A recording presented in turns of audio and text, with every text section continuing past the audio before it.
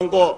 那么本案通案决议部分及营业部分经济委员会审查者均已处理完毕，其余各委员会审查营业、非营业及信托基金部分另定期处理。报告员会本第九届第一会期自一百零五年二月十九日开议至七月十五日休会，第一次临时会自七月二十日召开至今天。我们进行开会期间已超过五个月，通过议案一百零七案，非常感谢各位委员同仁及所有工作人员的辛劳。